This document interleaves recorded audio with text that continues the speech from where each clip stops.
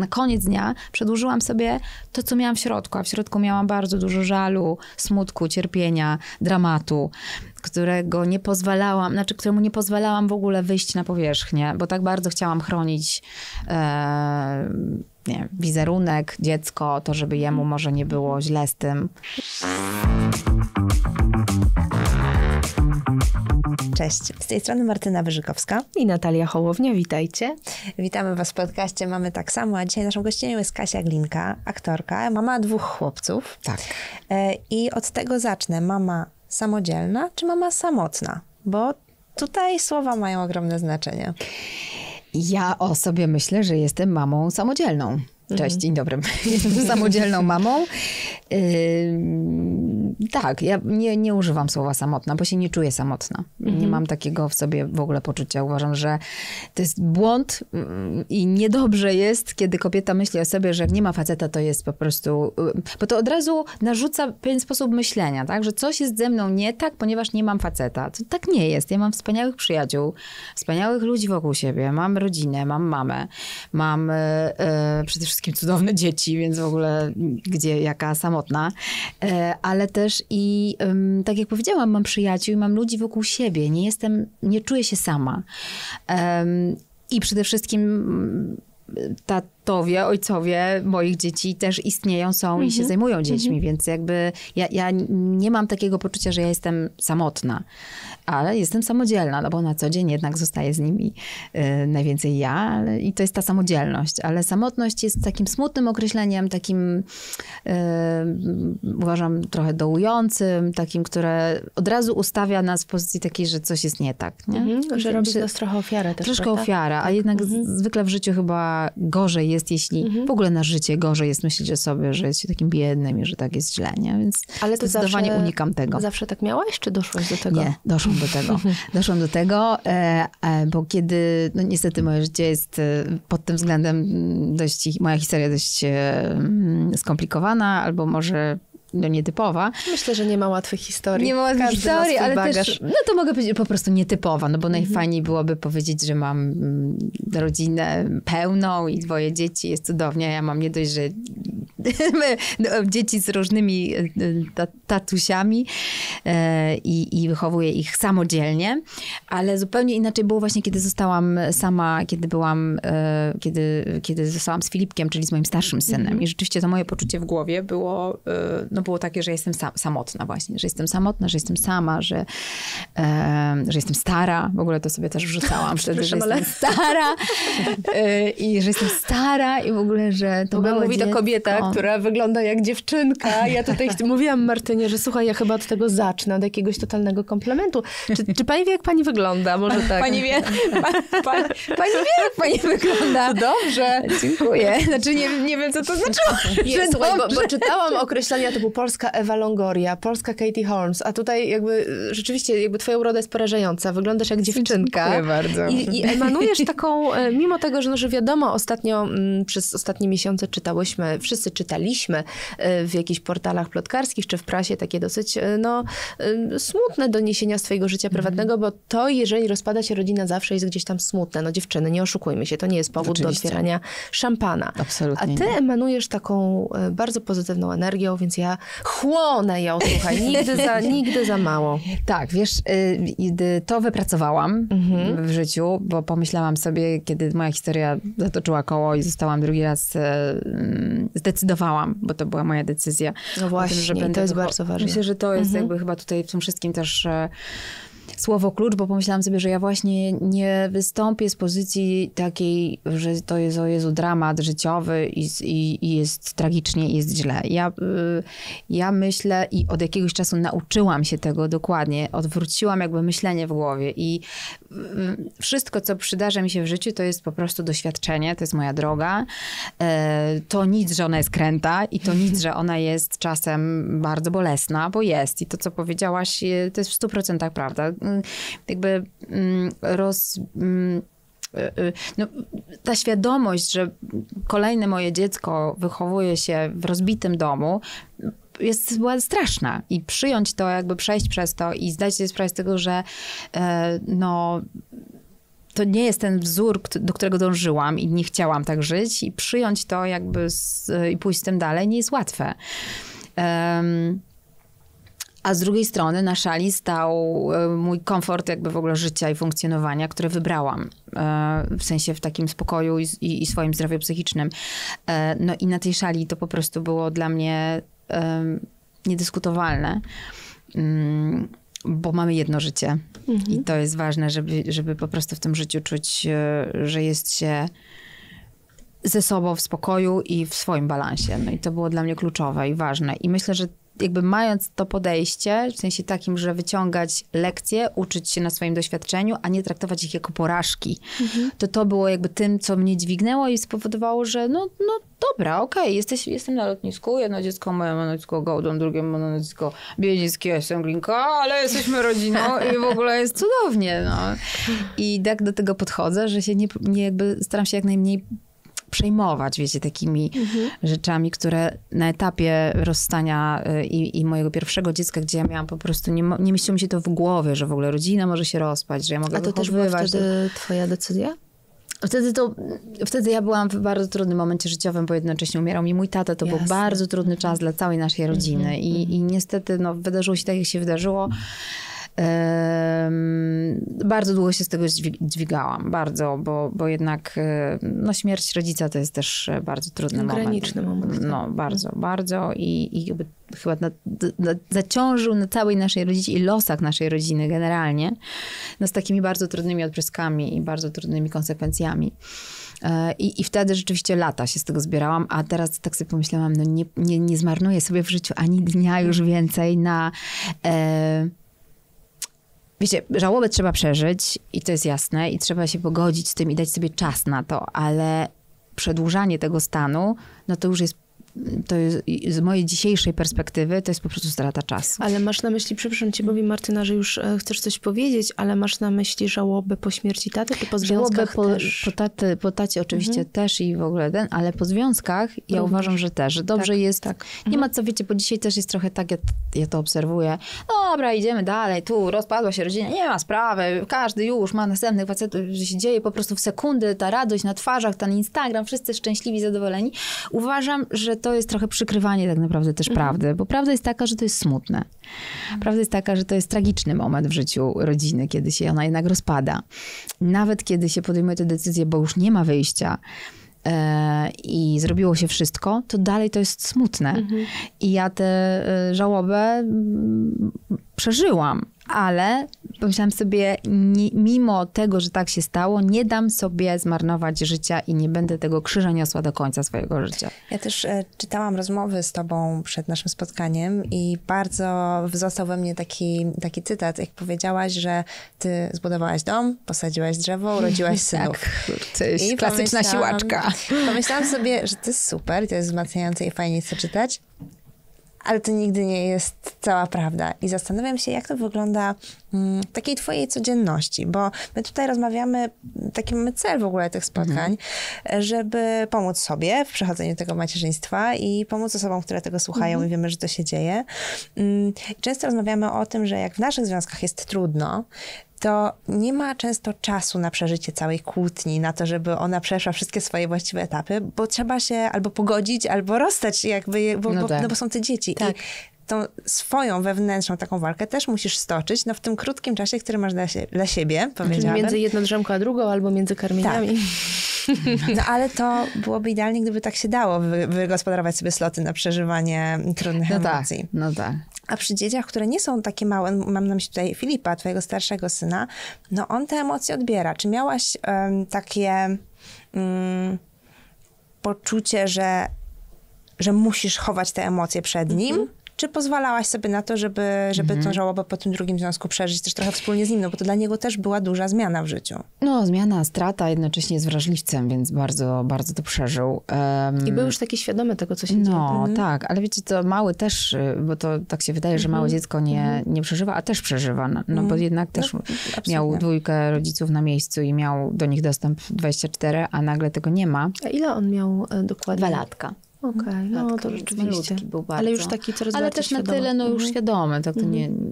Moja córka ma teraz dwa lata młodsza, więc absolutnie no. rozumiem to. Tak, tak, więc już też, e, a przede wszystkim dzieci czują emocje, niezależnie No od tego, tak. czy jesteśmy w związku, czy nie jesteśmy w związku. Y, To jak rodzice się na przykład nie dogadują, kłócą albo mają ciche dni, to te dzieci, niezależnie od tego, czy mają dwa, czy pięć, czy Nasiąkają osiem, to i tak to czują, Mhm. po prostu czują napięcie. E, I ja, ja Widzicie, to też już nauczona doświadczeniem, bo jak miałam małego Filipa, y, to próbowałam chować jakoś przed nim ten swój stan, w którym byłam, ponieważ on niestety się przedłużał i, i to... I, i a, i to jest właśnie kluczowe, że on się przez to przedłużał, że przez to, że ja udawałam i trochę przed całym światem i tak próbowałam sobie szybko życie ułożyć i tak myślałam, dobra, już, wspaniale, nie ma co, mam, mam ten, żyjemy dalej, jest dobrze, to tak na koniec dnia przedłużyłam sobie to, co miałam w środku, a w środku miałam bardzo dużo żalu, smutku, cierpienia, dramatu, którego nie pozwalałam, znaczy któremu nie pozwalałam w ogóle wyjść na powierzchnię, bo tak bardzo chciałam chronić e, nie, wizerunek, dziecko, to żeby jemu może nie było źle z tym. Na Tą wizję takiej rodziny, Tak. którą wszyscy gdzieś jesteśmy karmieni. wymarzyłem, ale na tak. koniec dnia kurczę, tych prawdziwych emocji nie da się u, po prostu udać. W sensie nie, nie da się. One muszą wybrzmieć. I, i chyba to była moja taka lekcja, e, którą odrobiłam i w tej sytuacji, w której się znalazłam rok temu, bardzo świadomie o tym rozmawiałam z Filipem e, i popłakaliśmy razem i się przytulaliśmy i dostał tyle czasu, ile potrzebował, żeby, nie wiem, mieć mnie dla siebie, żebym spędzała z nim wieczory, bo to też, e, wiecie, jeszcze różnica wieku ogromna. To jest dwa latka, tu, tu dziesięć, więc zupełnie inne potrzeby. E, więc tak naprawdę mm, plus praca, którą mam, to nie jest łatwe wszystko, żeby to pogodzić. Wiemy, wiemy. No, więc Ten podcast nie wziął się znikąd. No właśnie, więc to nie są proste sprawy, ale jakby kluczowe dla mnie było to w tym momencie, żeby się zająć jego emocjami, ale też i pokazać, że mnie to kosztuje, że to nie jest proste, że to yy, no nie jest tak, że po mnie spłynęła jak po kaczce i po prostu tylko keep smiling. Bo kiedy był, kiedy była radość i uśmiech, nie wiem, wyjeżdżaliśmy sobie na wakacje, wyjeżdżaliśmy, ale jakby pozwalałam sobie na to i jak widziałam, że on jest smutny, to zawsze byłam przy nim i zawsze o tym rozmawialiśmy i, e, i też nigdy mu nie powiedziałam, dobra, słuchaj, tam nic się nie dzieje, tylko jednak pozwalałam też na to, żeby po prostu był w tym stanie, w którym jest. I paradoksalnie też to pomogło, bo wydaje mi się, że dużo też e, szybciej pogodził się z tym po prostu, że, że tak się wydarzyło. A powiedzcie dziewczyny, bo no, są duże kryzysy w relacjach, które kończą się rozstaniem bądź rozwodem. Są też mniejsze, które my też przeżywamy. No, podejrzewam, że ja to przynajmniej raz w tygodniu, czy nie wiem, Martyna, może raz w miesiącu chociaż. Ale y, co robicie wtedy? Bo na przykład czytałam kiedyś, że Angelina Jolie z Bradem Pittem w takich tych naj, najgorszych momentach to zaciskała zęby, a potem szła pod prysznic i płakała pod prysznicem. Ja za każdym razem, jak z mężem się na siebie wydrzemy, jestem taką osobą bardzo, która ma krótki ląd, ale potem od razu, przepraszam, w ogóle nie miałam tego na myśli i już się pogódźmy. Mamy teraz też takie słowo, które już sprawia, że kłótnia jest natychmiast zakończona, ale po każdym takim sporze, czasem poważniejszym, czasem niepoważnym, ja mam potworne, potworne wyrzuty sumienia i googluję, co się stanie z dzieckiem, jak przy nim krzyczałaś na ojca. więc, więc jak było z tymi emocjami? Jak były te napięcia między wami, czy w pierwszym, czy w drugim związku? Zdarzało co, wam się to robić przy chłopcach? E, wiesz co, zwłaszcza chyba jeszcze właśnie przy Filipie kiedyś ja dużo mniej umiałam poradzić sobie z trudnymi swoimi Rozumiem. emocjami. To rzeczywiście się zdarzało, że ja wybuchałam. E, No i to miałam ten sam, to, to, to samo co ty, czyli poczucie takie winy, poczucie winy, że jednak dziecko e, no nie ma siły, no na pewno to jakoś bierze na siebie i widzi to. A z drugiej strony nie ma siły, żebyśmy też to w sobie trzymały, prawda? To jest jakiś taki paradoks. No, No, co mówi zrobić w takiej no, sytuacji? pewnie dobrze jest się na tyle opanować, żeby móc e, się pokłócić, jak dzieci pójdą spać. Super! Umiesz? I to jest Właśnie- pewnie najlepsze rozwiązanie. Albo jak ich nie ma, no właśnie, albo jak jest są jakieś- gdzieś w placówkach swoich. Tak, tak, no bo tak. gdzieś pewnie dobrze jest rozładować, znaczy to, co się nagromadziło, no to Mhm. dobrze jest o tym porozmawiać, albo jakkolwiek coś z tym zrobić. Ale nie zawsze się pewnie potrafi e, zachować tę umiejętność, żeby to się działo, kiedy nie ma dzieci. Myślę, że tak. Ja mam taką koleżankę, ona mówi po prostu, ja potem z nimi gadam, ja je przepraszam e, i po prostu uczę tego, że czas, czasem no mam takie emocje, nie umiem sobie z nimi poradzić, żeby dzieci też widziały, że my dorośli też sobie nie radzimy z emocjami po prostu, nie? To prawda, ale słuchajcie, no jeśli chodzi o partnerów, to jest jedna historia, ale jak sobie radzicie z tymi emocjami wobec dzieci? Bo ja jestem dzisiaj na przykład po bardzo trudnym poranku em, malowania farbami o 6 rano i e, miałam taki moment, że pomyślałam sobie o mojej dwuletniej córce, że po prostu ona mnie denerwuje. Miałam takie poczucie, nie lubię cię. Po prostu w tym momencie cię naprawdę nie lubię. Jakby dlaczego mi to robisz, że po prostu W tym masz momencie, tak. wszystko, co chcesz. Masz zabawki, masz śniadanie i po prostu e, jest awantura o chodzi? 6 rano. I to- to jest takie, wiecie, to jest, to jest chwila, ale to nie jest jedna chwila wyrwana całkowicie z kontekstu, w którym jest tylko różowo. I mam poczucie, że mamy teraz takie jednak no, większe przyzwolenie na to, żeby jak mamy w ogóle czuć takie emocje i nie myślę sobie od razu po tym, że jestem złą matką. Ale jednak no, muszę znaleźć jakiś sposób, żeby temu dziecku zakomunikować. I przy pierwszej córce miałam tak, że no bardzo to w sobie wstrzymywałam. Bardzo, że po prostu to takie klasyczne zamykanie się w łazience, żeby po prostu chwilę uspokoić myśli. No i to później wybuchało właśnie przed wieczorem no mojego No męża. tak, no bo to, no tak, bo to jednak gdzieś się też tak. klasyk, no, tak. tak, tak, tak, tak, tak. E, Teraz mam wrażenie, że no, mm, lepiej to komunikuję mojemu dziecku. Nie wiem, czy moje dziecko to przyjmuje w jakiś sposób, bo na razie nie widzę efektów, ale jest to trudne. W sensie szukam cały czas takiej drogi, no bo ta złość... co, się- mówisz jej? W sensie mówisz, że jesteś że zła? jestem zła, że mi to, nie wiem, sprawiło przykrość, albo że komuś sprawiło przykrość to, co ona Mhm. robi. Staram się jej tłumaczyć to, jakie efekty wywołuje to, co ona robi. No ona ma dwa lata i jakby widzę, że mm, no, gdzieś tam świta, o co chodzi. ale jeszcze no, tak. not Ale jeszcze trochę ją triggeruje jeszcze przykład, bardziej. E, wiecie, ona, ma, ona ma takie zachowania, że na przykład, nie wiem, stoi sobie spokojnie i e, uderza swoją starszą siostrę po prostu, bez powodu. I wczoraj mieliśmy taką tak, sytuację. przeszłam, ja mówię, wiesz, e, no zobacz, już jest zabolało, nam jest przykro, że, że tak zrobiłaś. To, dlaczego? To było niemiłe. Jest zero reakcji i za chwilę mówi, włączcie mi bajkę. Ja mówię, no nie, bo zachowałaś się niegrzecznie, nie włączymy ci bajki. Ona podchodzi, przytulenie A, z pełnym okej. sercem. To teraz mi bajkę, jestem gotowa. Jestem już dobra. Więc jakby ten proces się dzieje, on nie do końca idzie po mojej myśli. tak, no ale tak, wszyscy się uczymy jakby co z tymi trudnymi emocjami robić, no ale też rozumiem, że ona w ten sposób wyraża, Mhm. no bo jest jej trudno z czymś. No ale uczę się tego, żeby rozmawiać i jakby nie doszłam jeszcze do, przy drugim dziecku do, do, do żadnego takiego mądrego wniosku. I jeśli chodzi o moich dzieci trudne emocje, jeśli chodzi o moje trudne emocje. Więc to jest teraz, już sprowadzę to do Aha. pytania. Właśnie jak jest u was? Czy zdarza wam się wybuchnąć na dzieci? Czy właśnie się trzymacie i magazynujecie to i wylewacie to gdzieś indziej? Wiesz co, ja mam tak, że y, jeśli chodzi o dzieci, w ogóle mam bardzo duże pokłady cierpliwości. Okej. Jakoś tak się to u mnie, mm, nie wiem jak to się wydarzyło, że rzeczywiście być może mm, po prostu dużą świadomość tego, że, że no one się w ten sposób uczą, więc ja naprawdę jakoś tak umiem przy nich się opanować. Co nie znaczy, że to się dzieje zawsze, bo to jest po prostu niemożliwe, tak? No Zwłaszcza tak. na przykład, ja z kolei mam ze starszym synem, tak? Że on jest bardzo do mnie podobny. No i to jest jasne, że to jest lustro i po prostu no, są sytuacje, gdzie e, no, no iskrzy, tak? I on wie, jak robić, żeby mamę tam po prostu szarpnąć i robi to po prostu precyzyjnie. I długo było tak, że ja na, to, na tę sytuację wybu wybuchałam po prostu. Mówiłam, Filip, błagam cię, po prostu on ma tak, że wie, że ja na dźwięki jestem, mam po prostu natręctwo takie, że i siedzi specjalnie przy stole. I po prostu czeka tylko, kiedy ja... Proszę cię, Filipku, przestań. A, a. Ja wszyscy lodu mój. I kiedyś wybuchałam. Już za trzecim razem było, Filip, błagam cię, dlaczego mi to robisz w ogóle? A teraz, e, i to zauważyłam, że to kompletnie nie działało. Że tego tylko, a, co, o co ci chodzi w ogóle? Szedł jakby w swoje, że. A teraz nauczyłam się... em, ale to też nic nie daje, bo to też moim zdaniem nie będzie dobre. Mówię, dobra synu, no ty rób tak, ale to przyjdziesz do mnie, bo przecież będziesz potrzebował bajki obejrzeć albo będziesz potrzebował pograć na komputerze. No widzę, że to szybciej działa, w sensie takim, że on tam trybi, że czegoś nie dostanie.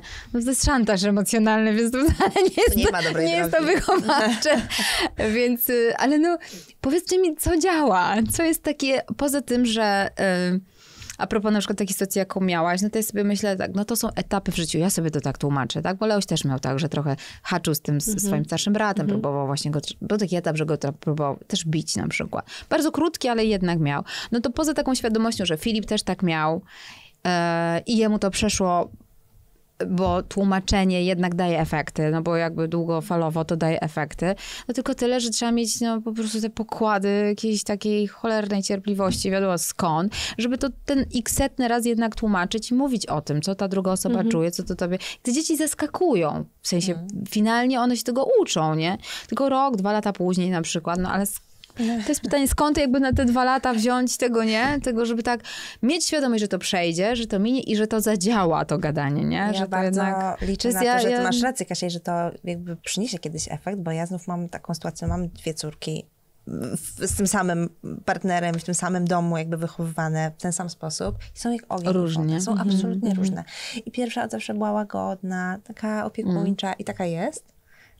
Druga jest inna. Choklikiem. Choklikiem, Choklikiem, tak, no. co jest fantastyczne. Ja uwielbiam to, że ona jest taka mm, zadziorna, ale też mnie to przeraża, bo ona ma dwa lata i teraz jest słodkie, ale wiecie, jeśli u starszej to nie zmieniło, to czy tutaj się zmieni? I ja w tym widzę... Y, jak one śpią, bardzo dużą przyjemność w obserwowaniu tego, jak... e, nie wiem, czy to ty, Natalia, teraz też masz, bo mm, ja się często dzieliłam w naszych rozmowach takim mm, dochodzeniem do kochania moich dzieci. Takim, że ja, ja bardzo chciałam mieć dzieci i bardzo miałam ułożoną taką wizję rodziny. I jak się moja pierwsza córka urodziła, to miałam takie rozczarowanie tym, czy to jest jakby ten maks miłości, który miałam czuć. Czy to jest Aha, na pewno to? aha, czy to okej. Czy coś jeszcze będzie, czy to już? I miałam wyrzut sumienia z tego powodu. I dosłownie z każdym dniem czułam, jak to we mnie rosło, to Aha, uczucie. Z takiego instynktu zwierzęcego, że się muszę opiekować tą istotą, Tak. do takiego naprawdę przywiązania i takiej e, pełnej, ciepłej miłości. A teraz ze starszą córką, która ma 5 lat, mam takie poczucie w ogóle innego etapu, że kocham ją oczywiście, ale teraz obserwuję taką osobę, która już nie to, że się uczy ode mnie takich podstawowych funkcji, że nauczyłam ją chodzić, chodzi, jeść, je, nie dławi się. Tylko teraz ona odkrywa pewne rzeczy. się nisko ustawiono poprzeczkę. I jak y, ktoś jest na etapie rozszerzania diety, to go to nie będzie śmieszyło. To jest No wtedy... tak. Wiesz, no, ale po Okej. prostu no, musisz nauczyć takich po prostu kamieni milowych. A później to dziecko przyjdzie taką, odsłania przed tobą karty, no nie wynikające już z tego, czego ty je nauczysz, tylko to ono zaczyna ci o Tak. sobie opowiadać. I to jest ta Pokazuje zupełnie jest. nowa więź, pokazuje ci, kim jest. No i też jakby wtedy widzisz dopiero odbicie tego, co właśnie tam pakowałaś Zasadziłaś. Tak, lata. tak, Tak. tak, To to jest, bardzo. y, to jest absolutnie niesamowite i jestem ciekawa, jak wygląda to teraz u ciebie, no bo ty masz już syna, który jest w takim wieku, powiedziałabym, no takie pomiędzy. Trochę jeszcze dziecko, ale już za chwilę nastolatek. Filip, tak, tak, tak. On jest już On ma 10 czy 11? 11 teraz. Więc Kasia to on już- współczuje, zaczyna się.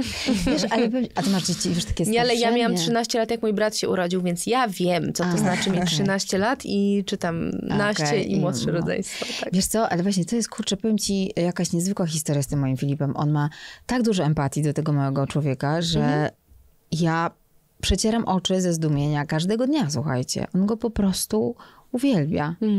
Ja nie wiem, o co chodzi. No to u mnie było podobnie, tak. Kocha go po prostu bardzo. Jednocześnie na pewno też jest tak, że ja go i to mm, wydaje mi się, że było ważne, że ja go nigdy tym maluchem jakoś tak nie nie obciążałam, w sensie takim, że miałam też dla niego czas, starałam się zawsze z Filipem spędzać mimo wszystko czas taki jeden na jeden nasz, żeby on czuł, że ja jestem dla niego też. Nigdy też nie było tak, że, że zajmij się, pomóż mi, zrób. Tylko na jego warunkach i na jego zasadach. Jak chciał na przykład uczestniczyć jak mały ukąpany, no to, no to tak, ale nigdy nie było tak, że chodź pomóż y, i bądź ze mną, i, bo jesteś starszy. Więc jakby tego chyba nie dostał i to nie wydaje mi się, że go jako darmowej tak, jako pomocy takie domowej, pomocy, tak. albo zostań, bo jednak jesteś starszy. I on też jest tak mocno nauczony tego, na przykład był w stanie normalnie powiedzieć, nawet jak potrzebowałam, słuchaj, Filipciu, błagam cię, nie mamy mleka, ja, ja po prostu muszę pojechać do sklepu, no bo i takie sytuacje są e, w życiu samodzielnej mamy. I on, nie, ja nie zostanę, ja nie zostanę mamą. No i nie, i nie został i koniec. Ja to szanowałam, bo po prostu mówił, że się boi zostać z małym dzieckiem w domu i koniec. Czyli to masz co, co ja, że starsze dziecko jest bardziej odpowiedzialne czasem niż rodzice. Tak, bo znaczy no nie, nie jechałam w nocy po to mleko, Jasne, była tam 18 czy 19, więc jasno lato i mówię, no Filipku, no coś jakby muszę, no muszę. Nie, nie, bo ja się boję zostać z nim w domu. Mówię, ale na 5 minut zaraz będę. Nie. No i mnie dobra, nie ma no takiej i- możliwości, żebym wyszła do żabki, bo mamo, nie wolno zostawiać dzieci samych w domu. No właśnie, no Juzia ci powiem. No ja mam na razie jedno dziecko, nie wiem czy tak będzie zawsze. Na razie mam jedną córkę wspaniałą Zuzię i ona jest tym chochlikiem jak twoja Mania od samego początku. Też uwielbiam to, że ona jest tym chochlikiem.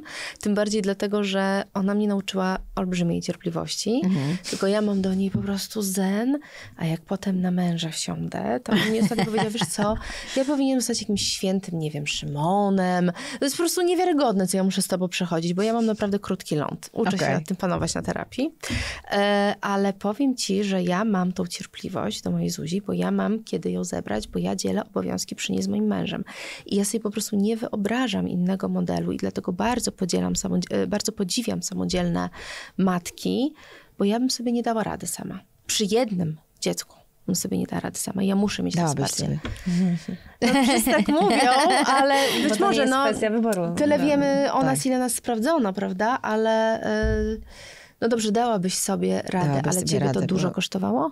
Y, To, I to dużo kosztuje cały czas, chociaż tak jak mówię, to jest kwestia na pewno ułożenia sobie życia. Okej. Ja mam to szczęście, wiecie, że finansowo y, mam y, komfort taki, że mogę na przykład zatrudnić nianię, która nam pomaga. No jasne, i to ona, jest już sytuacja, która dużo ustawia, Ona prawda? bardzo pomaga i naprawdę ja mam dzięki temu też czas dla siebie, bo dziewczyny Mhm. nie ma co ukrywać. Jak jesteś mamą na 24, to jesteś nieżywa po prostu i e, Znaczy, nawet to jesteś obserwuję tylko mamą, dziewczyny, kropka, które, nic więcej tak, nie ma. mają partnerów, ale często wiecie, no, funkcjonujemy bardzo Mhm. często w takim modelu, że ci partnerzy, no to oni tak mają bardzo dużo zajętości swoich i nie zawsze są takimi tatusiami, którzy, którzy mm, rzeczywiście tak na, na pół się dzielą tą opieką. Bywa różnie, no mam różne tam doświadczenia u koleżanek i one są jeszcze bardziej przemęczone, mam wrażenie, niż ja, ponieważ jednak to, że ja mam te nianie i to, że ja mam to poczucie, że ja mogę też i wyjechać sama i ja dbam o ten czas taki, naprawdę dbam o to bardzo, żeby mieć czas dla siebie. E, To mi daje mega komfort psychiczny w głowie, po prostu mam kiedy odpoczywać. E, I to jest klucz, ja uważam, że, te, że, że no i klucz, ale też i, i dzięki opatrzności, i dzięki temu, że jestem zaradną po prostu osobą i że ja mogę taką nianię zatrudnić, bo no bez tego y, rzeczywiście pewnie bym nie opowiadała tu z taką radością o tym swoim samodzielnym macierzyństwie.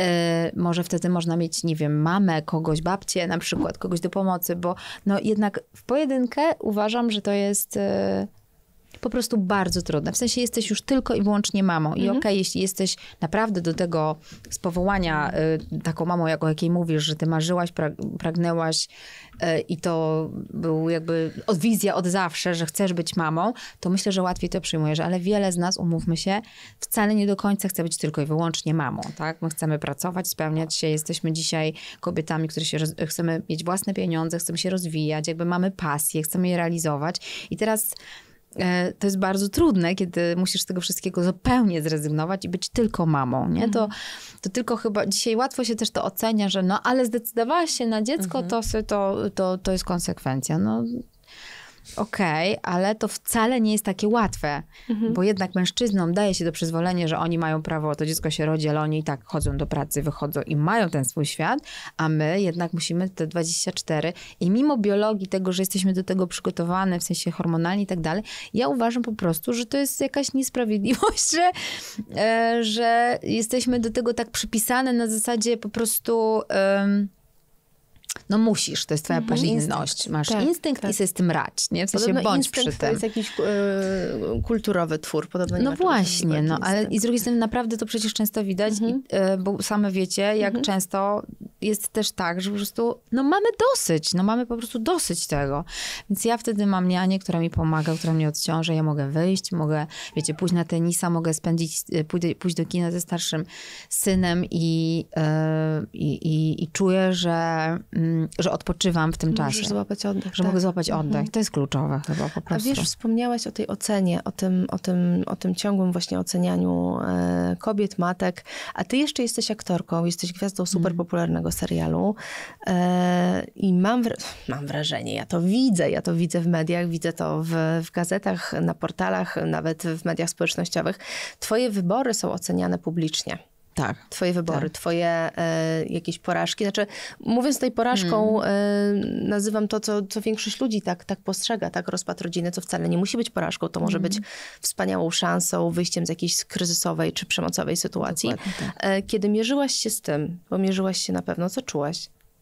Mm, mówisz o opinii, Tak, o, o oceniach. ocenach, których było... Wiesz, to nigdy nie jest miłe. To nie ma, No ja nie będę się. mówić, że Mhm. o spoko, to się nauczyłam. Oczywiście nauczyłam się y, i mam grubą skórę i e, mm, dużo grubszą niż kiedy, Mhm. kiedy właśnie te- te 8 lat, 10, 11, gdzie- w każdym razie Filipek jak był mały e, i się wtedy rozpadało moje małżeństwo i to rzeczywiście wtedy mm, bardzo to przeżyłam. Bardzo. To, co się działo, ten hejt, e, y, dotykał mnie potwornie. A dzisiaj, wiecie, no wystarczy, że wstawię świadectwo z czerwonym paskiem mojego syna i to, co się dzieje, to, co ludzie... Tylko dzisiaj ja tak umiem to obejrzeć, ym, nie biorąc tego do siebie. W sensie dla mnie to jest obraz tych ludzi, tak? I Ale ja może dzisiaj umiem powiedzmy, to zrobić. co to była za sytuacja. Ja znam ten post. Tak, Martyna mi wspominała, że koniecznie chce o tym porozmawiać, bo to było Tak, niesamowite. Bo wrzuciłaś po prostu zdjęcie ze swoim synkiem z opisem, że jesteś dumna, że Tak. się dobrze uczy, mimo że oceny nie są najważniejsze. I w komentarzach po prostu się zagotowało, że Jezu, ale jak? to jest nie wyznacznik,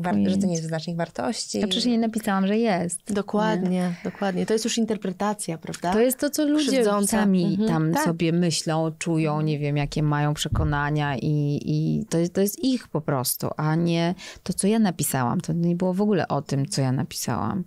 Ale też już, po, już, już e, mm, tak, dlatego no to jest niezwykłe, wiesz, bo w tak banalnej sprawie, jak, jak po prostu radość matki z powodu tego, że moje dziecko naprawdę bezwy, bez, bezwysiłkowo, bo akurat jest tak rzeczywiście, że My z Filipem, z jego tatą bardzo dużo rozmawiamy z nim e, i też o tym również, że dla nas oceny nie są ważne, że, że życie pokazuje, że one później nie mają znaczenia na koniec dnia, no, po prostu, zwyczajnie.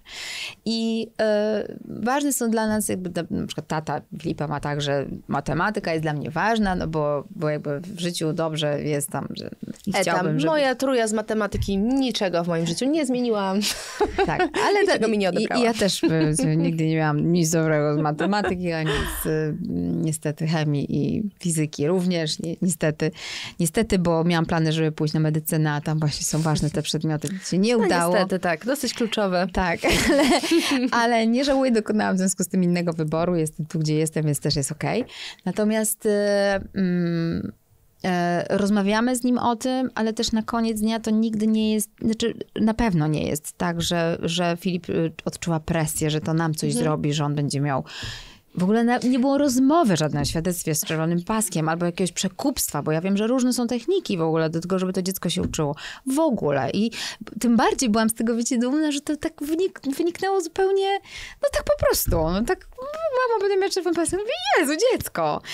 A to jest niesamowite, że musisz, czy musimy w ogóle się tłumaczyć. Tak, to jest tego. Ty teraz musisz uzasadnić, dlaczego się cieszysz Dlaczego? jak to... Ja, I to w tylu obszarach, wiecie, no to jest Bo po wiesz, prostu gdyby- niezwykłe. Gdyby to było odwrotnie, gdyby te oceny były beznadziejne, to trudno mi sobie wyobrazić poklask też dla tej sytuacji. W sensie tutaj każda ścieżka jest zła. Tutaj w którą stronę nie pójdziesz, na to wejdziesz na minę. No bo nie wiem, czy dzisiaj, źle, wiecie, no czy, czy polaryzacji świata nie jest trochę też tak, że dzisiaj właśnie jak pokażesz, a moje dziecko się nie uczy i jestem cool. I to nie wiem, czy to by się nie spotkało nagle z takim, wiecie, bo dzisiaj trochę mamy taką, wiecie, mocno skrajną, y, o, skrajnie się ocenia dzisiaj bardzo każdą sytuację. Niestety ocenia, bo to wciąż się wszystko się ocenia i wszyscy są najmądrzejsi siedząc przy tym swoim, wiecie, telefonie. E, Ale to, co powiedziałaś, jest trudne o tyle, że, e, że rzeczywiście te oceny są i one po prostu są i e, i mimo tego, że wiesz, że to jest o tej pani i o tamtej pani, która ci napisze, że nie wiem, w kuchni to nie możesz stać w szpilkach albo nie możesz być w stroju kąpielowym, bo nie wypada w tym wieku. No też takie dostaję, wiecie, no szereg informacji takie, że nie wypada kobiecie w tym wieku. Wiecie? Kobiecie w tym wieku nie to jest- to jest wypada bardzo ciekawe. No w stroju kąpielowym Aha, pokazywać okej. się tak bezczelnie po prostu W ogóle nie wypada nosić. Kobieta i matka. nosić nie może, nie wypada. To by mi się podobało, że nie wypada pani, każdy pani chodzi bez. Ale że no dalej żyjemy, wiecie, w takich schematach po prostu, że w jakimś wieku czegoś nie wolno, No właśnie, czegoś nie poczekaj, wypada, coś nie wypada, coś jak jest zaszłaś nie w ciążę, ile miałeś lat, przypomnij mi? Wie, wie, które ciąży? Drugie, 43? Czy jeszcze może jakaś przed to? Nie, no właśnie, i nie. wtedy nie spotkałaś się też z tym, że to jest późno? E, Nie ale krzyczano ci, że to jak można tak późno? Bo mam wrażenie, że teraz Kasia Sokołowska, która tuż po urodzeniu dziecka skończyła 50 lat, trochę już przesunęła tak w takim A, dyskursie publicznym tak. tą, Mhm, tą granicę, e, granicę wieku. Ale kilka lat temu, jeszcze tak przed pandemią, mam wrażenie, że jak kobiety po 40 rodziły dzieci, czy Kasia Warnke na przykład, e, która, e, która też, też u nas gościła, e, no to to był szok. To był skandal. Wiesz Dziewczyny nie było, tak? No tak. e, albo mi Znaczy, wiesz, to, że ty wyglądasz na, to, ty wyglądasz na 16, wiesz, no to, to, to nie znaczy, że wiesz, że ciebie to... Nie znaczy, nie usprawiedliwia usprawiedliwia, mojego tak. wieku absolutnie. Znaczy, nie, nie, tego nie pamiętam. Okej, czyli tutaj nie E, poczułaś tego nie, uderzenia nie, nie, nie, nie poczułam. W ogóle nie poczułam jakichś takich złych komentarzy w tym obszarze. Mm, ale, ale no w wielu innych, tak. Typu właśnie tak jak powiedziałam, że, że wiesz, no, że, y, że sobie stoję w swojej kuchni, wiesz, w szpilkach, albo no, ludzie mają po prostu tak dziwne problemy. A a propos dzieci i w ogóle tego, jakie masz tu, ale dlaczego on ma jeszcze smoczek, a dlaczego, bo dopatrzyły się tak, gdzieś w jakimś, wiesz... ich dobre rady, tak. Dlaczego? A dlaczego? I naprawdę piszą mi to na wiadomościach prywatnych, pani Kasiu, proszę coś z tym zrobić, bo tak nie wolno na przykład, nie? Albo, że nie wypada dziecko, dlaczego na plaży biega nago, nie? Piszą do mnie takie rzeczy. Moje półtora roczne dziecko, słuchajcie, i ja dostaję takie informacje, nie? Że nie, nie, nie, nie wypada, no nie wolno.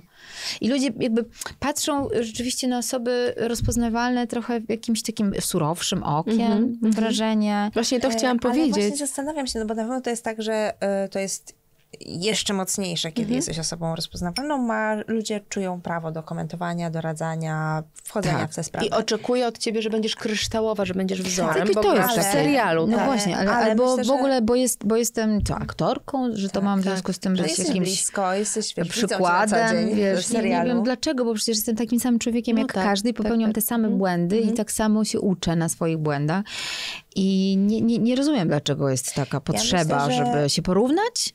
Może to jest to, żeby się poczuć lepiej? Ja myślę Żeby też, się poczuć to, lepiej, się może to jest lepiej, to, myślę, nie? tak. Tak, Mhm. no być może tak, no, ale to, to, że jesteś osobą znaną, to jest y, ten taki, y, jest jedno uchylenie drzwi, ale drugie to jest coś, co jest, nawet jak jesteś nieznana, y, czego ja też doświadczałam, po prostu sam fakt bycia mamą albo bycia w ciąży, to już daje obcym może osobom tak. prawo No do i tego, i karmienie piersią też doradzić. Tak, tak, Karmienie piersią, ale ja, mm, kiedy Józia była malutka, mieszkaliśmy wtedy na Sadybie, mieliśmy wyłącznie sąsiadów 70+. Plus I to było super urocze, bo po prostu ona przez to miała mnóstwo takich przyszywanych babci, chociaż na 5 minut, ale po prostu było bardzo miłe. Natomiast to się wiązało z tym, że ja non stop słyszałam pytania, gdzie jest czapeczka, gdzie są skarpetki, czemu to dziecko jest nieubrane. O Boże. Tak, po prostu rady, o które nie prosisz, pojawiające się znikąd na spacerze. A czy odpowiedziałaś się raz w dupie? Nigdy, Tak mnie to nie. korci, żeby tak odpowiedzieć. Więcej, ja e, jako, że właśnie byłam mamą młodą, malutkiego dziecka w mieście, gdzie nie miałam Mhm. swoich rodziców, nie miałam swojej rodziny, to ja się czułam w tym niepewnie, więc mimo, No że tak, jakby, zwłaszcza przy pierwszym dziecku, nie? Tak. To się człowiek nie czuje to, to nawet jak wiedziałam, że jest 40 stopni i czapeczka jakby może nie, to, to we mnie jakby coś tam takiego budziło, że coś robię nie tak. No wiecie, no, to nie No jest tak, fajne, jak no tak. ktoś ci zwraca uwagę na coś, co jest wtedy twoim centrum w ogóle wszechświata, że no chcesz się spełnić w tej roli, w której jesteś bardzo niepewna, a non stop słyszysz krytykę nawet od obcych ludzi, no to jak bardzo musisz być niedobra w tej roli, że ludzie aż na ulicy cię zaczepiają, żebyś na to zwrócić uwagę. Mm, To A wiecie, że ja mam tak do dla tej pory, jakby przykre. cały czas każda jakaś taka uwaga, nawet od kogoś bliskiego, a to powinnaś inaczej, a może ona coś tam, a może to, to podważa we mnie takie to poczucie, że jestem dobrą mamą, że jestem wystarczająco dobrą mamą. No bo nikt z nas na koniec dnia, przecież żadna z nas nie czuje się y, w stu procentach. Znaczy, jeśli ma się ten wgląd w siebie, no to ma się też świadomość, że tak, popełnia się jakieś błędy. No ale na koniec dnia kto ich nie popełnia, tak? One, te mamy, babcie, ciocie, wszystkie też popełniły i dajcie nam popełnić swoje po prostu. Oczywiście fajnie jest usłyszeć konstruktywną uwagę, która jest powiedziana w odpowiedni sposób, w odpowiednim momencie. Wiesz, kiedy nie w tym momencie, kiedy ty jesteś w jakiejś aferze ze swoim dzieckiem i wtedy wkracza ci jakaś ciocia, mama i mówi, ale nie, bo coś tam, coś tam, nie? No to, to jest wiadomo, że wtedy nie zareagujesz dobrze, a potem masz wyrzuty sumienia i tak dalej pewnie fajnie usłyszeć jakiś feedback i móc się do tego odnieść i to, co mówisz, jest spoko. Ja uważam, że naprawdę fajnie jest też później sobie przemyśleć pewne rzeczy, czy rzeczywiście tak jak robię, to na pewno jest okay, bo to jest nieodłączny element naszego, wiecie, no tego macierzyństwa. No niestety, no mamy te dzieci i cały czas się nad tym pewnie będziemy zastanawiać, czy dobrze, czy okej. Na koniec dnia uważam, że zawsze dobrze jest po prostu słuchać siebie. Ja tylko chcę powiedzieć, że to jest właśnie plus takiego tego macierzyństwa późnego. W sensie to, że mam to dziecko drugie tak późno, bo wiecie, na tyle rzeczy ja mam tak totalnie wywalone. Tak totalnie wywalony. Myślę, ludź, co mnie to w ogóle obchodzi? Wiecie, to jest piękne. Jakby, bo tego nie miałam przy Filipie, to jest to, co ty mówisz. Jednak wszystkie te uwagi, one mnie potwornie triggerowały. Mm -hmm. Niby wiedziałam mm -hmm. jak i czułam, ale na koniec dnia no, to miałam dokładnie to, co ty. No, ludzie, jak? Ale może nie. I się tak przejmowałam wszystkim, co na koniec dnia no zawsze odbija się na dziecko. No przecież ono czuje po prostu ten mój dyskomfort, tak? A teraz mam takie... Oh my I don't give I don't give w ogóle ludzi. Piszcie sobie tam, róbcie co chcecie, dobra. No mam takie, że się przyjrzę. Czasem mnie to jeszcze szarpnie w zależności mm -hmm. od tego y, hormonalnej historii miesięcznej. To czasem mam tak, że jeszcze czasem tak odpiszę coś, mi sobie, potem myślę sobie, a No potem skasuję, na szczęście mamy myślę, tę możliwość. A po co w ogóle ja w to wchodzę? To jest życie tych ludzi, mm -hmm. którzy mają jakieś swoje paranoje. Y, I mam taką dużo większe poczucie tego, że robię dobrą robotę na koniec mhm. dnia. No i mhm. oczywiście popełniam błędy, bo popełniam błędy. Są sytuacje, w których czuję, że na przykład bardzo dużo musiałam dać maluszkowi w momencie rozstania. I musiałam być dla niego e, dużo bardziej. I wiem, że mój starszy syn mniej mnie wtedy dostał.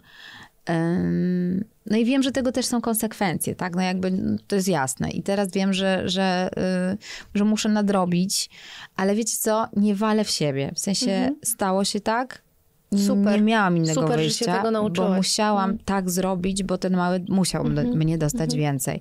Wiem, że to jest kosztem starszego, ale nie miałam wyjścia i jakby tak zrobiłam i kropka. Mhm. I wiecie, to jest po prostu tak uwalniające, że jakby przestaję walić w siebie, że popełnione błędy nie walę w siebie. Mhm. Bo popełniłam mnóstwo, zwłaszcza przy Filipie, jak był malutki, kiedy się rozstawaliśmy, kiedy ja po prostu byłam unurzana w swoim cierpieniu. Lata później nie umiałam z tego wyjść, że ja też temu dziecku to zrobiłam. A teraz mam na to mm, duże zrozumienie dla siebie, dla tej kobiety, która po prostu nie umiała inaczej. I to jest przepiękne. A jeszcze całym na, w ogóle życiu, ale mhm. i macierzyństwie też, bo to się niesamowicie przekłada na jakość życia po prostu moich mhm. dzieci, mam wrażenie. A czy w wypadku rozstań... Yy... Znaczy, no, to jest w zasadzie pytanie oczywiste. Zapewne ważne, żeby te relacje byłych partnerów były dobre, właśnie dla dzieci, prawda? Mhm. Ale kiedy rozstanie wydarza się nagle, znaczy, wiesz, ja mówię na podstawie tego, co czytałam, bo nie byłam z wami w domu ani w sypialni, ale wydawało się nagłe, to czy w takiej sytuacji szybko jesteś w stanie stworzyć porozumienie z byłym partnerem dla dobra dziecka, czy jednak nie? Nie. Nie, dlatego że to. Yy to jest to, co to wam mówiłam, jakby trzeba dać czasowi czas, no po prostu. Mm -hmm. I ja tego nie umiałabym udać. Rozumiem. W sensie dobrze jest na pewno zapanować nad e, emocjami i nie robić w, wobec, czy przy dziecku, tak, tak, nie tak. zachowywać mhm. się w stosunku do siebie wrogo, bo... No to jest takie chronienie jest, dziecka, prawda? Tak, takie instynktowne. No to jest jasne. Mhm. Natomiast y, no jakby mm, żal i to, co się w sobie ma w tym momencie, no różne są to uczucia, ale, ale mhm. na przykład u mnie żal, y, to y, trudno, żebym tego nie czuła. W sensie nie da rady nie mieć tych uczuć, bo one są właśnie teraz, tak? One są w tym momencie, one są. I nie da rady tego jakby no, ja przynajmniej nie umiem.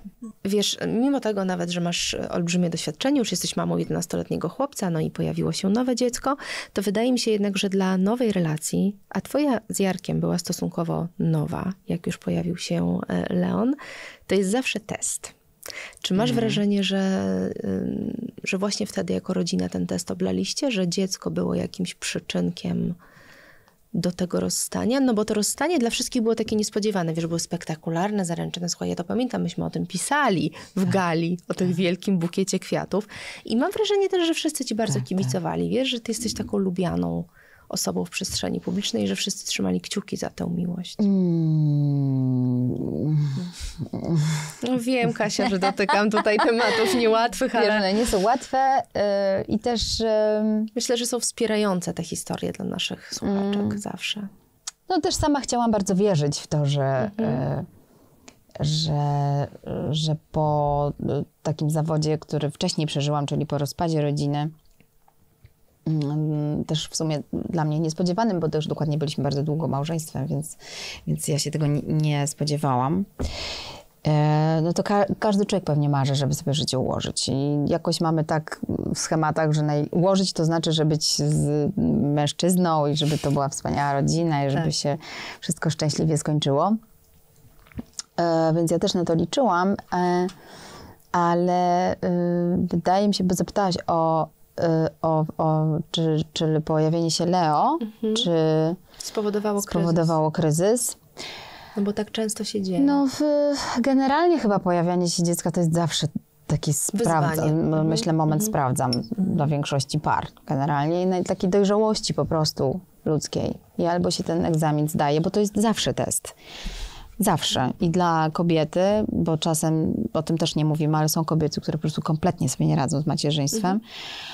I też bardzo często mężczyźni po prostu no, nie zdają tego egzaminu dojrzałości. I na pierwszych etapach po prostu zwyczajnie, mm, częściej nawet niż my, mężczyźni mają z tym dużo większy problem.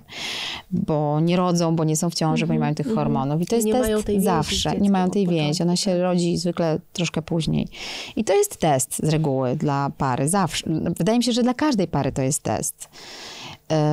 No bo to jest nowy, nowy członek rodziny i to jest znowu 24, trzeba być, trzeba być razem w tym wszystkim i jeśli para nie jest, y, jeśli coś zgrzyta i, i- coś y, jest nie tak, no to wtedy to wyjdzie jeszcze trzy razy bardziej, więc y, tak, na, na pewno to też był ten kolejny jakby element, który, był, który powodował trudności. Mhm. Czyli już przed coś zaczęło zgrzytać. Wiesz, to jest tak, że myśmy dość krótko byli razem mm, i, i Leo się pojawił. Myślę, że, że jak nie do końca znasz, e, wiesz, jeszcze człowieka mm, i pojawia się dziecko, no to to jest po prostu bardzo duże ryzyko, że się może nie powieść. Niestety. A z kolei jestem zdania, że bycie tylko dla dziecka, jeśli e, ludzie się bardzo źle dobrali, to się po prostu zdarza że po wielkiej chemii, wybuchu namiętności jest po prostu życie zwykłe, które się okazuje, że nie jest e, do ogarnięcia wspólnie, to bycie tylko dla dziecka jest absolutnie dla mnie nie, nie do, byłoby nie do, nie do przejścia po prostu. No chyba dla każdej z nas. Mm. Są kobiety, które to dźwigają. Dźwigają bardzo różne, fatalne historie swoich partnerów, żeby utrzymać status Okej. tego, że mają rodzinę i że, że Okej. jednak mają faceta. Mhm. I No, takich kobiet jest ciebie- mnóstwo. A dla ciebie w kontekście wizerunku nie myślałaś o tym nigdy? Że, że to będzie jakaś kolejna, że to nie będzie pasowało Mm. do tego takiego wizerunku miłej dziewczyny? No, na szczęście byłam już na takim etapie życia, że to, co sobie inni o mnie pomyślą, Miałaś mniej gdzieś. mnie tak bolało. Choć nie powiem, że w ogóle nie, bo to jednak, no wiecie, no, no to nie jest nigdy miłe, jak cię ktoś wytknie palcem i ci powie, że to jak żyjesz jest słabe. To, to, to nigdy nie jest fajne. No. Nawet jak jesteś bardzo przekonana, że właśnie tak będę żyła i to jest super, bo to jest moje życie i ja je poprowadzę dokładnie tak, jak chcę i nic wam do tego, to na koniec dnia no, idziesz, wiesz, z, y, z takim przekonaniem, że jest też jakaś duża część ludzi, którzy, którzy cię za to wytykają palcami i dla których to nie jest okej. Ale naprawdę dobrze, że to się wydarzyło już tak późno w moim życiu, bo ja rzeczywiście na dzisiaj mam taką, taką mocność, no, mocną świadomość tego, że ja mam jedno życie i ja je sobie przeżyję tak, jak ja umiem albo nie umiem, ale ono jest moje i nic wam do tego. Ale jak mówisz o tym wizerunku, no to to się u ciebie bardzo mocno wiąże też z twoją pozycją zawodową. I zastanawiam się, jak e, te zmiany w takim życiu prywatnym się przekładają na życie zawodowe. No bo tutaj jak Leo się urodził, już byłaś no, w takiej pozycji powiedzmy bezpiecznej. Nie wiem, czy właściwie jest dla aktorki pozycja bezpieczna, bo tutaj znów wchodzi kwestia wieku, to znów wpadasz w, w Tak. temat, że znów jest niebezpiecznie. Ale e, czy masz poczucie, że mm, te perturbacje, powiedzmy, w życiu prywatnym przekładają się jakoś na życie zawodowe, czy, czy to są zupełnie dwie osobne ścieżki i, i nie wpływały te dwie strefy na siebie? Wiesz co, u mnie nie, bo mm, wiecie, ja też starałam się i zrobiłam chyba wszystko, żeby y, nie robić z tego publicznej jakiejś y, maskarady i, i, e, i nie jakby poza mm, jakimś jed- jednym komentarzem, który, który, który, który wydałam y, osobiście, to tak naprawdę nie, jakby staram się tak funkcjonować, żeby, żeby tego nie podkręcać i tym nie żyć, więc, y, A więc tak uważam, że to się da... twoje prywatne doświadczenie, myślisz, że tak jest w branży? W sensie widzisz to, że... Mm, no właśnie, nie wiem, czy podczas e, jakby osoby, które dzielą się tymi prywatnymi doświadczeniami, Mhm. zyskują na tym, czy raczej tracą, czy to jest takie, czy w ogóle da się to w ten sposób tak świadomie jakby w taki wyrachowany sposób poprowadzić? do tego. Zagrać taką kartą.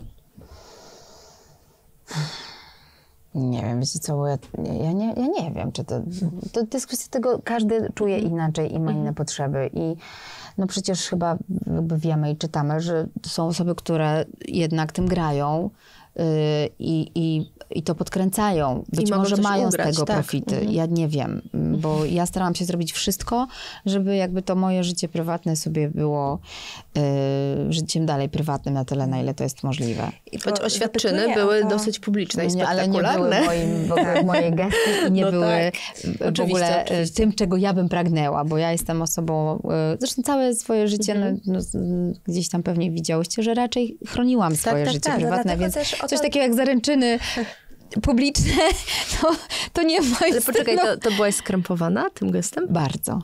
O, to ciekawe, bo to tak się Bardzo. myśli. Nie wiem, czy widziałaś zdjęcia Martyna, jak wbiega mężczyzna z tym bukietem róż, to ale zajebiście, zazdrość. Romantycznie. I to jest, to jest bardzo ciekawe, tak, to, że to mówisz, takie bardzo rzeczywiście w obrazku. Mhm. Ja pamiętam, że y, akurat wtedy na tym przedstawieniu y, wśród publiczności była córka mojej nastoletniej, taka 13-letnia mojej y, ko- koleżanki, która jak Mhm. to zobaczyła, to płakała, bo powiedziała, że to jest jak z filmu i że to No jest w ogóle takie jak z bajki i że to takie piękne. A ja miałam zupełnie inne odczucia. Mhm. Ja miałam bardzo, bardzo duże ciekawe. skrępowanie, bardzo duże. Ja myślałam głównie o tym, że e, że tyle osób na to patrzy i ja jestem po prostu bardzo Więc nie mogę powiedzieć nie. że w ogóle, że jestem po prostu bardzo byłam zawstydzona Rozumiem, tym, że, rozumiem. że, jest, że, że to się odbywa publicznie, ponieważ po prostu moje, moim życiem jakby staram się tak prowadzić, żeby nie upubliczniać tego, co robię prywatnie. Po prostu osobiście tego nie lubię. Ja. I to, to było dla mnie krępujące bardzo. A byłaś z takiej rzeczy kiedyś namawiana? Drążę ten temat, bo mamy takie doświadczenia, mamy gościnie, które dzieliły się z nami też tym, że właśnie ze strony agentów, ze strony mediów, czy, czy nawet... Były zachęcane do były zachęcane do tego, tak. żeby właśnie zorganizować jakąś ustawkę, czy, Tak, czy to się pojawia takie Bo zrób się z siebie ofiarę, zrób, że jesteś biedna, to dostaniesz żeby jakby- angaż do tańca z gwiazdami. Tak? Gra się tym po to, żeby coś zyskać, ale ja mam taką dewizę na życie i ja może często, wiecie, co dostaję w tyłek tym, że ja nie potrafię zagrać. E, ale no nie, nie umiem, nie, nie lubię, nie chcę, nie robię tego. Nie, nie robię tego po prostu. No właśnie, Kasiu, bo ja ciebie na początku przedstawiłam jako aktorkę, jako mamę, Mhm. ale właściwie powinnam też dodać teraz autorkę książki, wkrótce przynajmniej. Tak, tak, tak. Cały czas, Mentorkę wręcz może nawet cały trochę. czas czekamy na to z Marzeną Mawricz, moją e, już w tej chwili serdeczną przyjaciółką, którą poznałyśmy się w Mieście Kobiet.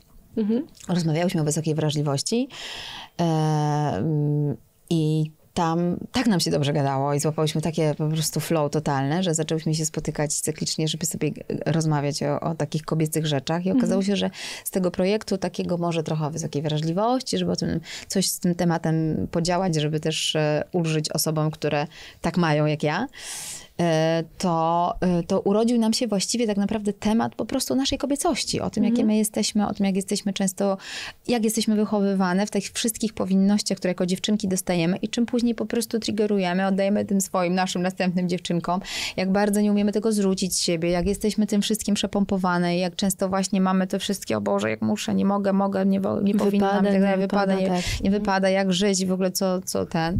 Czego mężczyźni często nie mają, bo są jednak inaczej wychowywani przez mamy.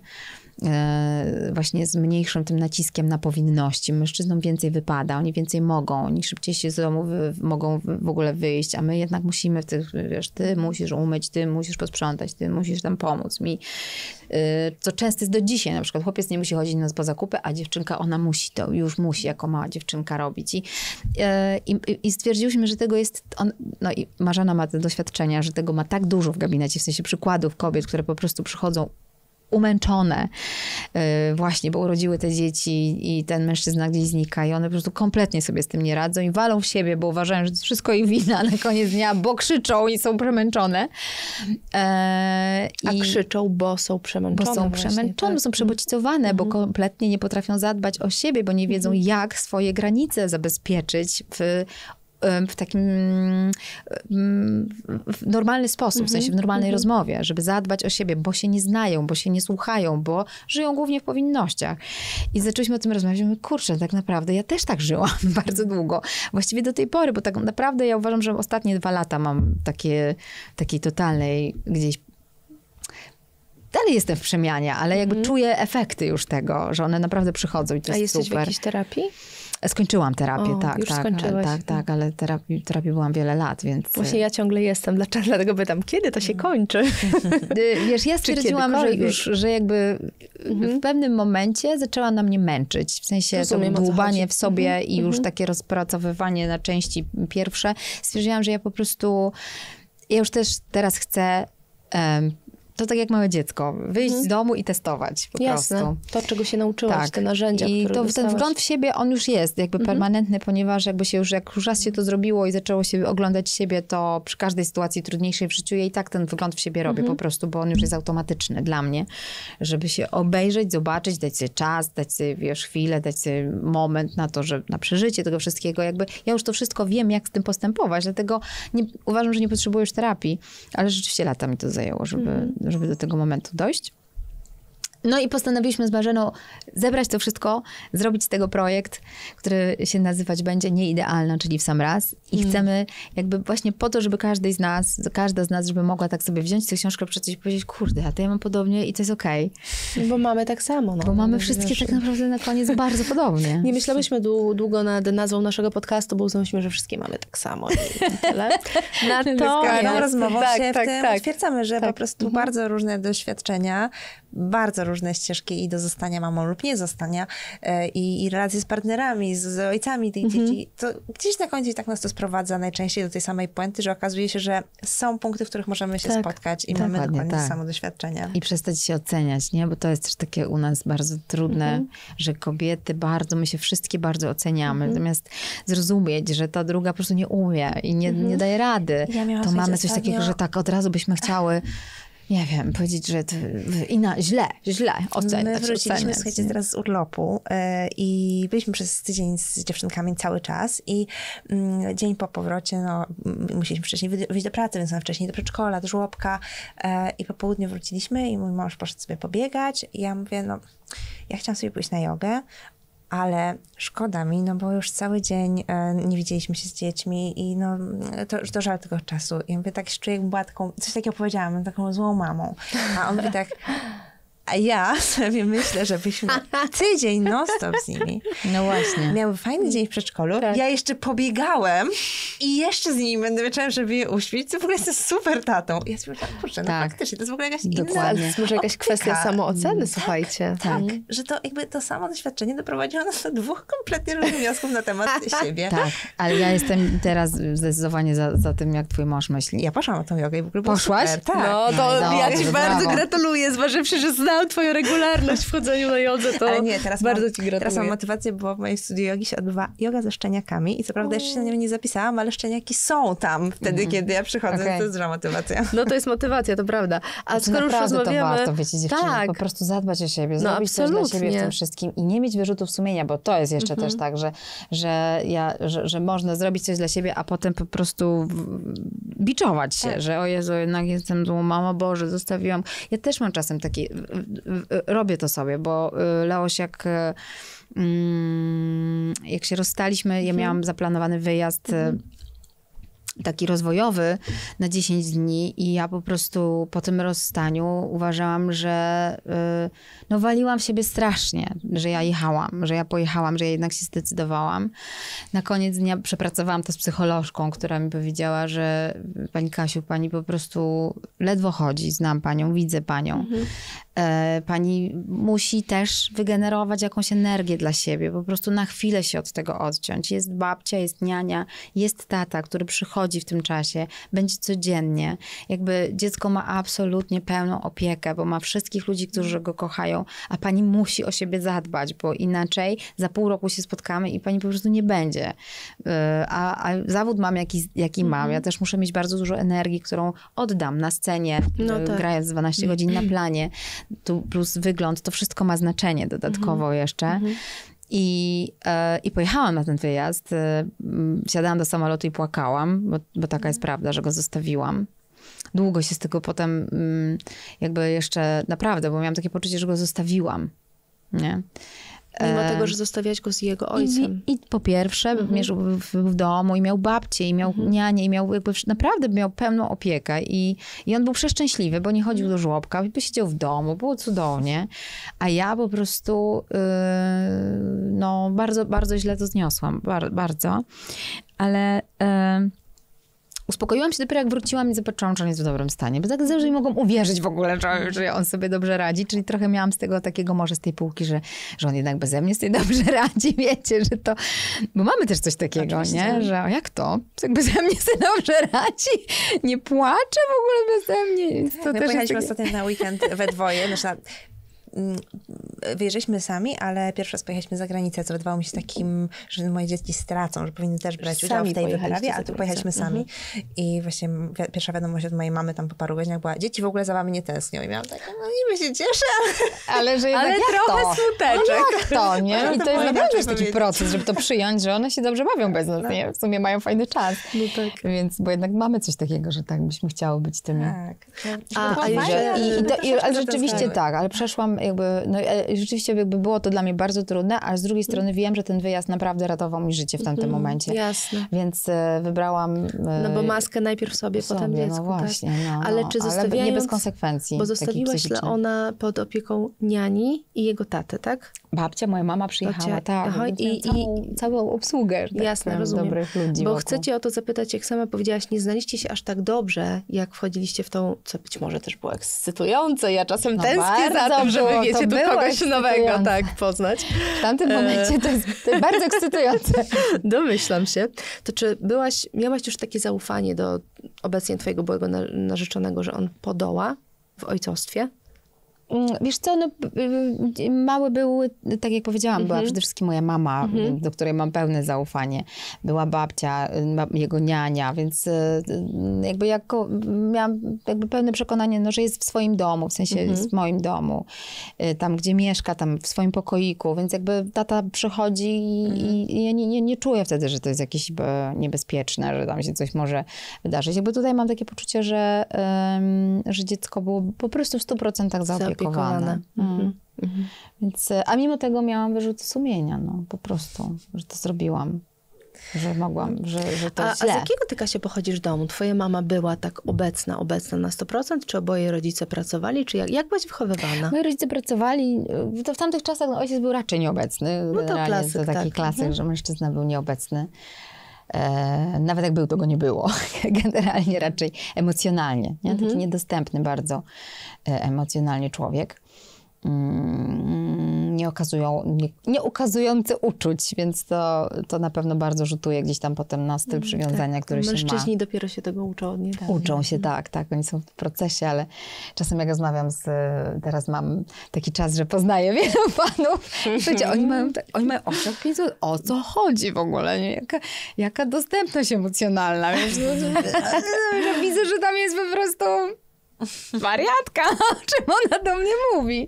Bo rzeczywiście chyba jest tak, że oni się dopiero otwierają na to po prostu, że jakby to jest taki temat jeszcze dla nich też trudny, no bo też są wychowani przez tych samych ojców, którzy byli niedostępni emocjonalnie, no i oni ten schemat jakby wzięli, no nie?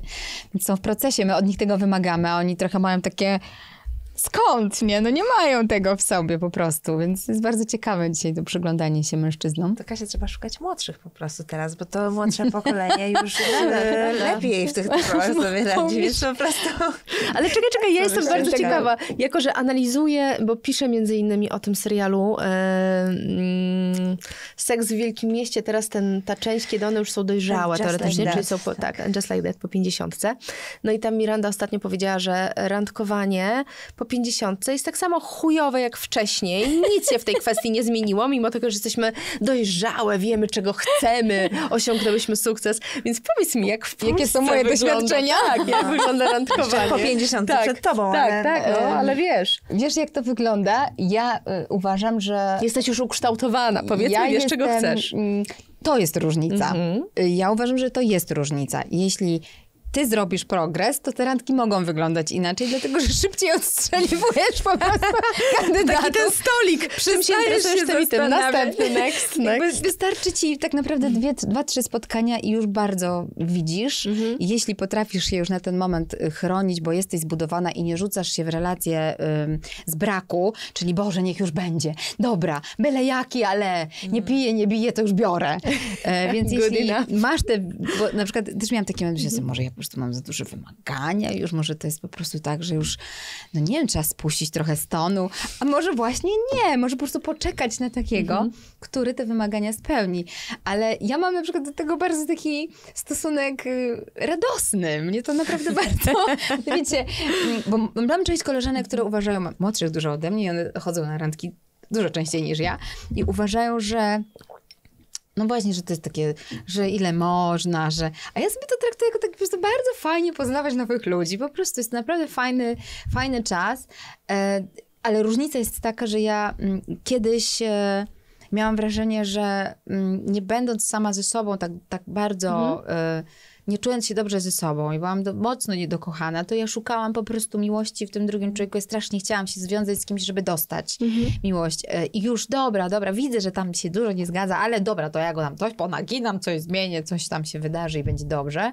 Czyli takie, będzie dobrze, no, będzie dobrze. No nie będzie dobrze, bo jak e, się pewne rzeczy nie zgadzają, to się one po prostu nie będą zgadzały. A dlaczego czułaś się taka niedokochana?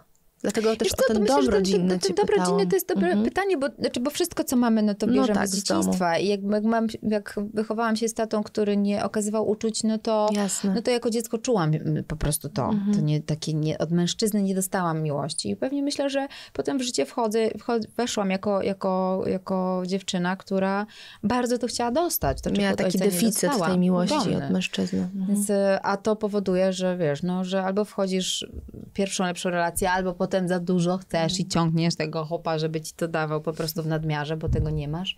I przez te wszystkie etapy w życiu przeszłam. Mm, Dzisiaj już swobodnie mówiąc o tym, bo, bo tak jak powiedziałam, traktuję je jako lekcje, bolesne bardzo niektóre, ale jednak lekcje na dzisiaj już. I I to randkowanie dzisiaj jest naprawdę dla mnie takie, wiecie, to jest jakieś, takie przyglądanie się. Myślę sobie, aha, dobra, okej, no nie, nie, to choćby nie wiem co, nie, nie, nie, nie, nie, nie. I e, dużo rzeczy widzę i to jest naprawdę bardzo ciekawe. Taki so- ale socjologiczny taki eksperyment, bardzo- tak, i, i doświadczenie, ciekawe, nie? naprawdę. Ale jest to bardzo e, fajnie się tego słucha, Tak, bo tak. ty jesteś w tym, e, absolutnie ci w to wierzę. W sensie, Tak, jest, to jest no, ba- bardzo widać, szczere od takie. razu świecą ci oczy, jak ty mówisz, widać, że to jest dla ciebie to jest przyjemność. Co ty tam za historię musiałaś mieć ciekawe? To naprawdę, to jest materiał na książkę, no to jest materiał na książkę. już tak będę na emeryturze, to kiedyś to opiszę, bo powiem, że, że, że jest ciekawie. No, a, a czego w takim razie ty teraz szukasz w partnerze? Że co dyskredytuje faceta? E, Niedostępność emocjonalna, Okej, brak empatii. jasne. E, to jest coś, co dyskredytuje dla mnie mę- mężczyznę na dzień dobry. W sensie ja na przykład nauczyłam się też bardzo wprost mówić, jakie mam potrzeby. Bo często na randkach wiem, że i to od Marzeny mojej właśnie psycholog, z którą napisałyśmy tę książkę, że bardzo często gramy w taką grę, wiecie, wersja demo przez pół roku, a potem dopiero się zaczyna jazda. Więc ja daruję tę wersję demo yy, i po prostu bardzo jakby wprost mówię o tym, jakie mam potrzeby i co lubię i jak lubię. I, yy, i chciałabym, żeby mnie ktoś kiedyś przyjął, pokochał i ja kogoś z tym, jaka ja jestem naprawdę i jaki ten człowiek jest naprawdę. E, I, no i trzeba stanąć w prawdzie po prostu, a nie, nie, nie, nie, nie mam czasu, słuchajcie, na takie, że no, żeby tak, a tak, a może tam coś wymyślę, to go trochę poudaję. Ja wiem, że dziewczyny, słuchajcie, potrafią, sa, e, samotne kobiety potrafią wyciągać foteliki z samochodu, jadąc na randkę po to, żeby on się nie dowiedział, że one mają dzieci. Mm. To się dowiedzą później, jak już on się zaangażuje. Znaczy, wydaje mi się to nie, aż nie do wiary, ale podejrzewam, Usłyszałam że... i prawdziwe. No, No, ale i to ja myślę sobie, no ale no. Jezu, po co? No ale też nie zaczynasz od tego konwersacji, prawda? Cześć, jestem Kasia, mam dwoje dzieci. Chyba, że zaczynasz, Chociaż- to powiedz. no, w twoim wypadku jest to trudno ukryć. tak. trudno Tak, no ukryć, właśnie, Więc ja tak no naprawdę właśnie. wszystkie karty są na stole, no bo weź mój Instagram i od razu wiadomo. Ja Mhm. jestem mamą, przede wszystkim mamą. Mamą dwójki dzieci. Mam 46 lat i mam trzyletnie dziecko, co jest w ogóle utrudnia robotę bardzo, bo jaki facet dojrzały i też i wiekiem, i umysłem, będzie chciał się bawić w trzyletnie dziecko, słuchajcie. Więc ja muszę mieć do tego dystans, bo inaczej mogłabym po prostu polec i tylko wziąć i płakać, a nie No i- chcę tego robić. Tylko to nas może uratować. Tak, bardzo cieszę, słuchajcie. bo, bo zawsze w tych rozmowach staramy się dążyć do tego, żeby skończyć taką pozytywną puentą i Tutaj nie musiałyśmy się starać, tak. Nie musiałyśmy się starać. Słuchajcie, ja, ja mam taki czas w życiu, że myślę, że wszystko jest po coś. Te spotkania też są po coś, one też mnie czegoś uczą i tych ludzi na pewno też czegoś uczą. I, i po to się... I to, i to jest fajne i to jest piękne na ten moment mojego Ty, życia. a może ty zakochana jesteś? W ogóle w sobie. O, sobie. o, i to jest cudowne i tutaj kropkę stawiamy, To no. na dowód tego, co powiedziałaś na początku. Samodzielna, niesamotna i to Tak. wybrzmiało w każdym zdaniu tej rozmowy. Bardzo dziękujemy, super było cię poznać. Dziękuję bardzo. Dzięki, Kasia. Dziękuję za zaproszenie.